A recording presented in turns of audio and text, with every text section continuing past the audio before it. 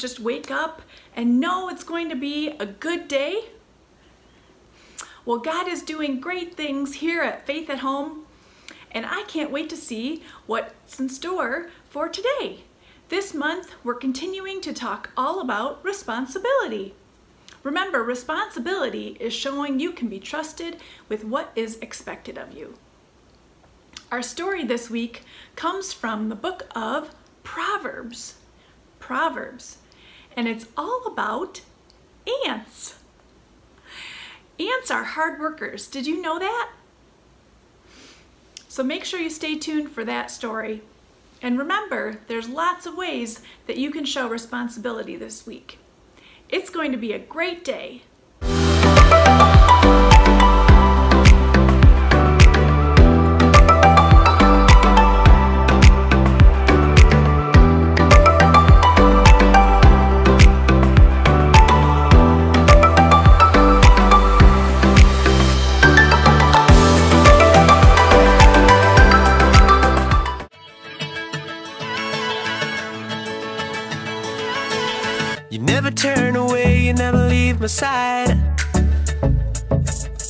And every time I call your name out just to find that you're already right here with me, never been alone. I can trust you with my heart, cause this I know. You are always faithful, you love me from the start. No matter what I'm facing, I will trust you with my heart.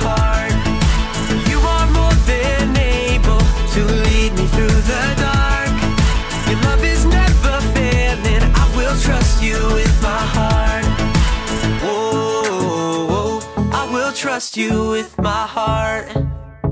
There are days when I feel I need a friend. And then I hear your voice reminding me again that you're already right here with me, never been alone. I can trust you with my heart, cause this I know. You are always faithful, you love me from the start. Facing, I will trust you with my heart. You are more than able to lead me through the dark. Your love is never failing. I will trust you with my heart. Whoa, I will trust you with my heart. No matter what may come, no matter what I go through, God, you are never gonna fail me. I will trust you with my heart.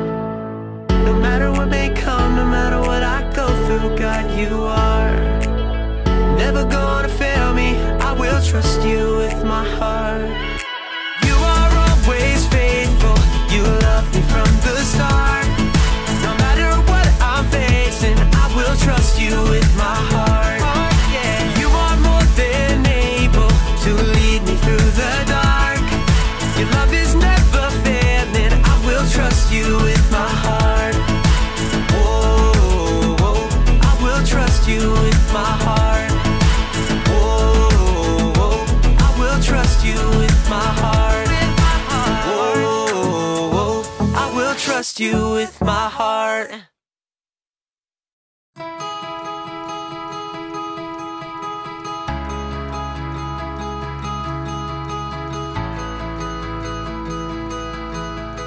Come on. Come on. Ooh, okay, come on, ball. Come on. Ah! Oh, hi.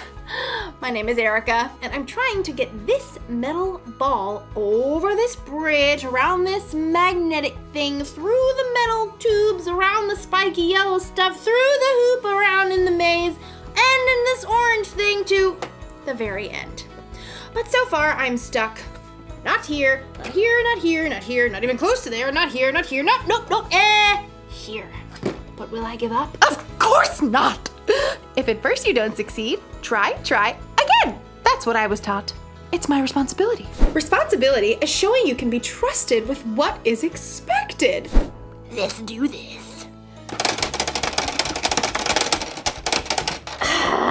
Okay, now I give up. I tried. I tried again.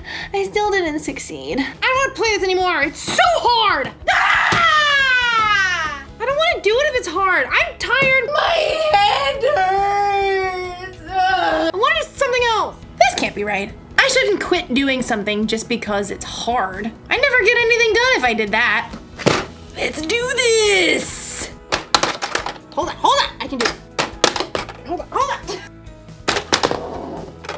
Ah! Ah! I made it to the end! And it's all because I whined and complained about how hard it was. Actually, now that I think about it, the whining and complaining didn't really help at all. What did help was something we're learning about in today's story. That's something for you to anticipate.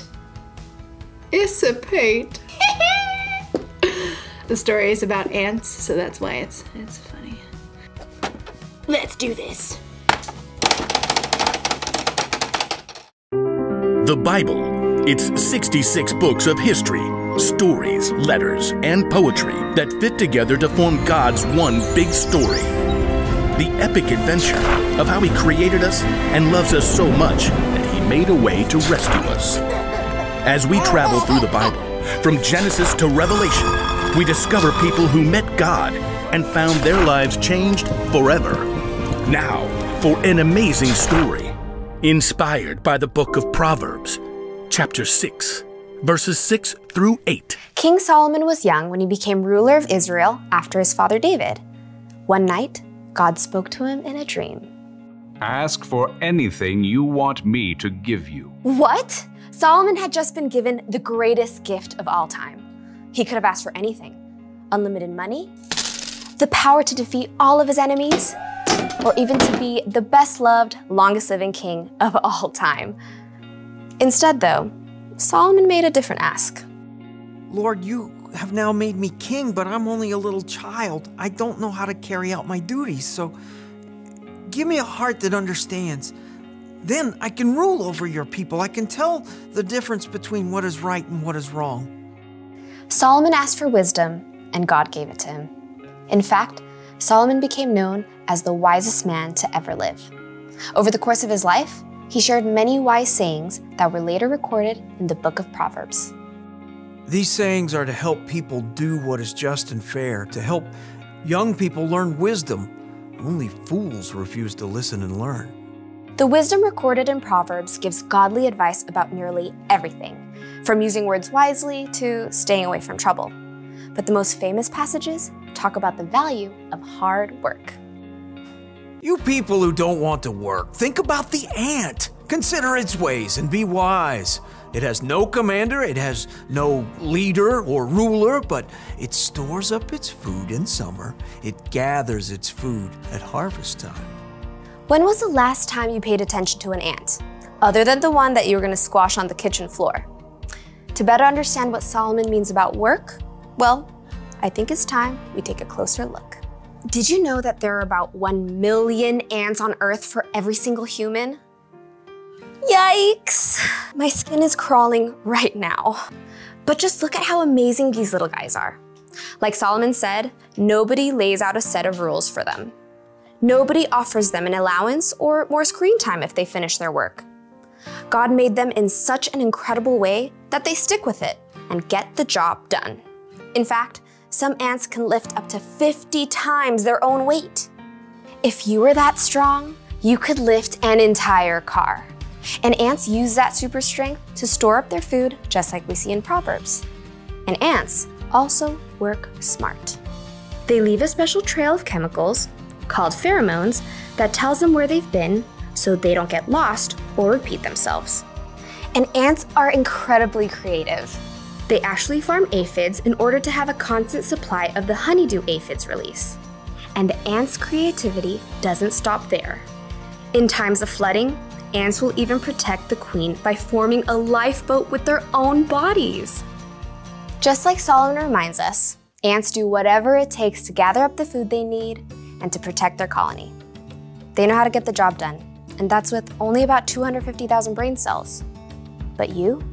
God made you with 10 million brain cells.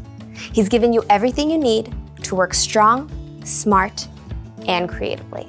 And because God has given us so much, there's so much more we can do.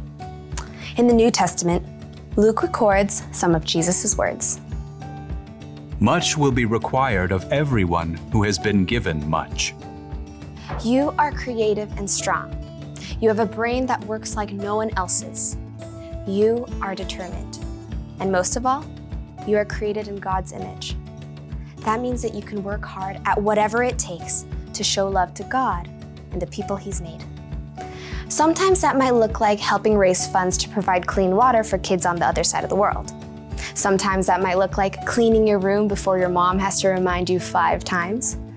Or working hard to help your little sister to build an epic Lego palace. Whatever your work, remember Solomon's wisdom. You people who don't want to work, think about the ant. Consider its ways and be wise. It has no commander, it has no leader or ruler, but stores up its food in summer. It gathers its food at harvest time. Be wise, work hard. God has given you everything you need to follow through.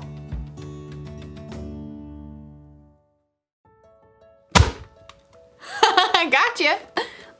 Look, I get it. Work is hard, but if we don't work, nothing will ever get done. Think about it. If the ant didn't work, he wouldn't have any food stored up for the winter. We actually need work. Plus, think about Jesus. He gave us an example for how to love people and serve others, and he always did it gladly, working with all his heart.